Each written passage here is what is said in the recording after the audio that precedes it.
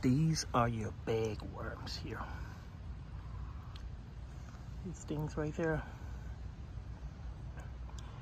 There's a worm on the inside of that bag. You see it moving.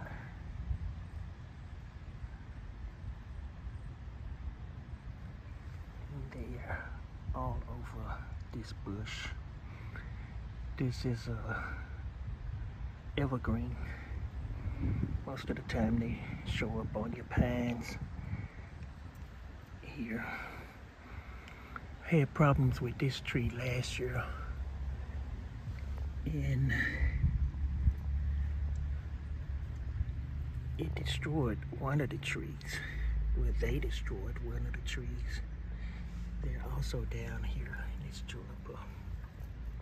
See here. So I'm gonna spray this bush, this uh, pan one more time.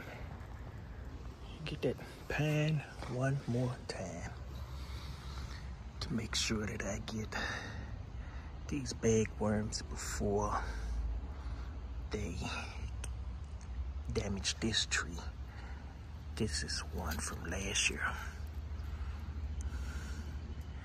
So it's just to show you a size comparison. This is the dead one from last year.